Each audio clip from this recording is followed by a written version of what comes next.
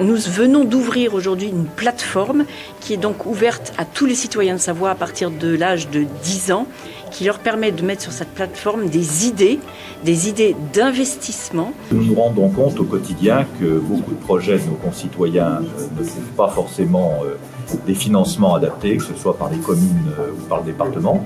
Et puis parce que nous pensons que les citoyens doivent critiquer, bien sûr, l'action publique, mais ils doivent aussi proposer. Donc nous leur donnons l'occasion de proposer des projets concrets que nous pourrions financer.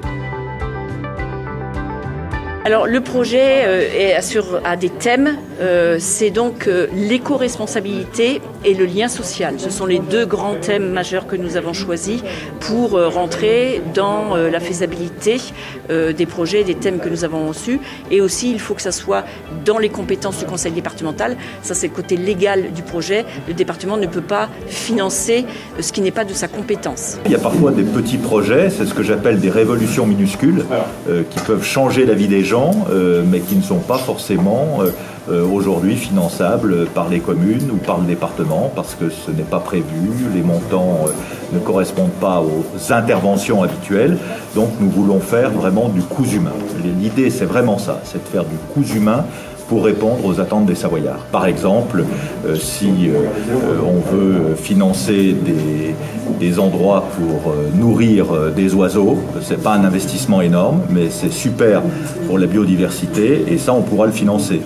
deuxième exemple, si dans une maison de, retraite ou dans un EHPAD, on veut mettre en place une borne musicale pour faire de l'animation pour euh, les seniors. Euh, là aussi, il n'y a pas forcément de financement prévu et on pourra le financer euh, par ce biais-là. Donc c'est vraiment faire appel à l'imagination des Savoyardes et des Savoyards, être concret et rapide. Donc dépôt des idées entre maintenant et décembre. Ensuite, un temps un peu masqué d'analyse des idées.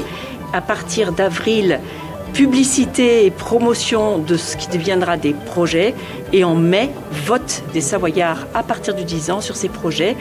Les premiers projets qui auront le plus de voix seront les premiers lauréats le premier, le deuxième, le troisième.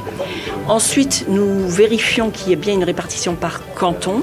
Donc chaque canton aura un projet primé. Le premier projet qui a le plus de voix par canton sera primé. Nous avons formé aussi une catégorie jeunes spécifique. Donc les premiers projets jeunes seront automatiquement sur le podium.